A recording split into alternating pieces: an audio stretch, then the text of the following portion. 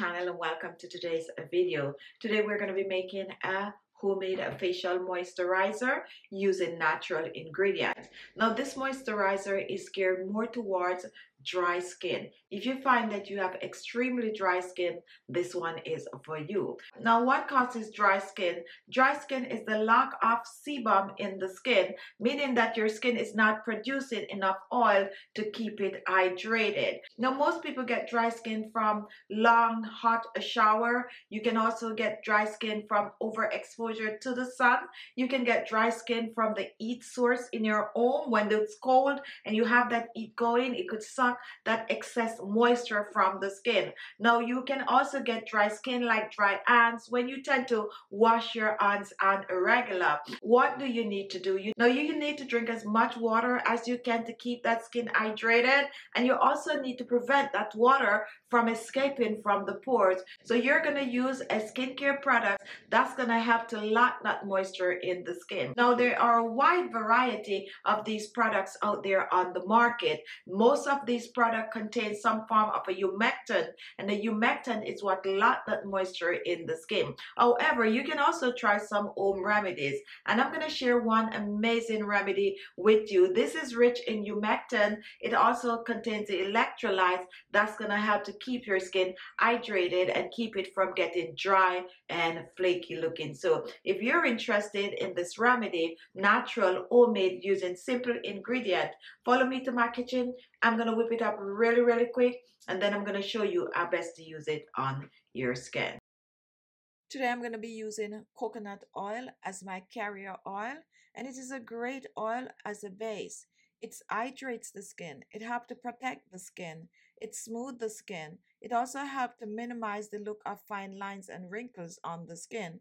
It's calm the skin temporary redness. It provides antioxidant and it absorbs easily into the skin. I'm going to be using a teaspoon of the coconut oil. However, if you want to make more, double up on the ingredients. My next ingredient is vitamin E oil and vitamin E oil can block free radicals and replenish lipid, which helps slow down the skin aging process. The ingredient may also help reduce wrinkles and fine lines and keep skin looking youthful. Now I'm going to be using a capsule and one of these capsules contain about a half a teaspoon of vitamin E oil. If you have the other kind, go ahead and use a half, half a teaspoon. So let's pour this in. Now if you're using the liquid 5000 IU or above, go ahead and use the same amount. Now, once this is done, we are going to mix the two together.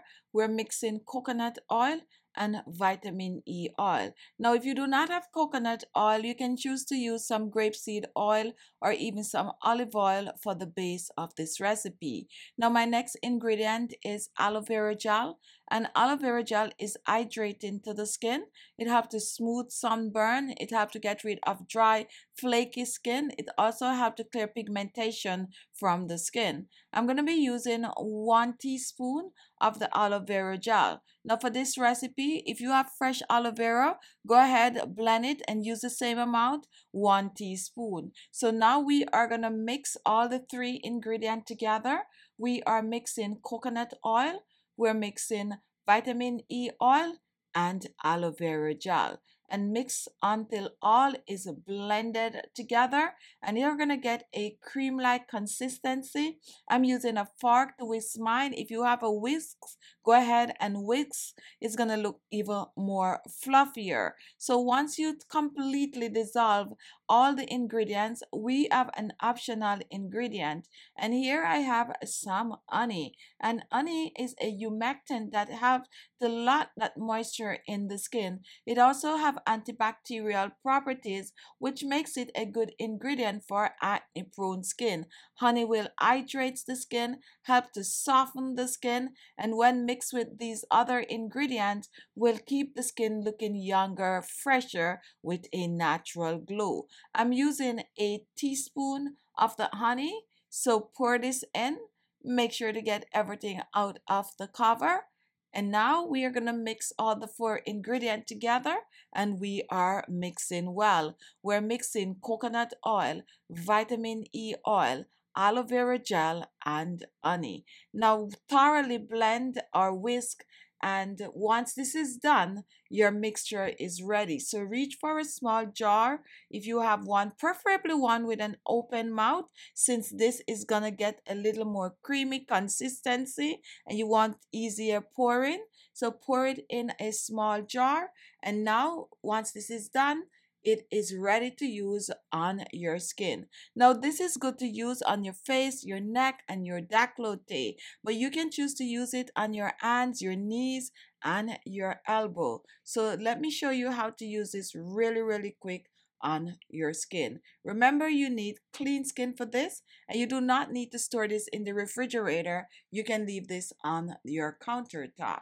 Now all you need for this remedy is just a little touch. A little goes a long way. So all you need is a small amount and this is good for both your face and your neck. And I like to just warm this up in my hand and this is how I like to use it. I like to just press it on my skin like I'm showing here. So just press it and don't forget to take it down on the neck and décolleté. Now, when should you use this hydrating moisturizer? You can use it directly on the skin or you can use it on top of the facial toner. The fact that you have dry skin, I suggest that you get a facial toner, apply it, spritz it on the skin, and then you apply this amazing facial moisturizer. Now, when do you use this moisturizer? You use this moisturizer at night. So you apply it on your skin at night, sleep with it during the time you're sleeping. is going to keep all of that moisture in the skin. Upon arising in the morning, you just rinse off and reveal fully hydrated, soft, supple looking skin.